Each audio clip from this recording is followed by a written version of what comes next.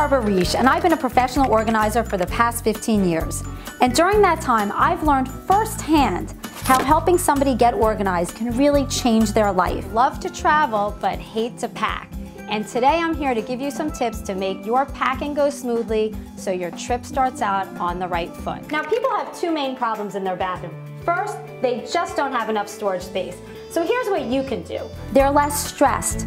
They're less overwhelmed. They have more time to do the things that they want to do, and they're happier. And there's nothing that makes me happier than helping somebody live a better life. So let me help you get your life organized.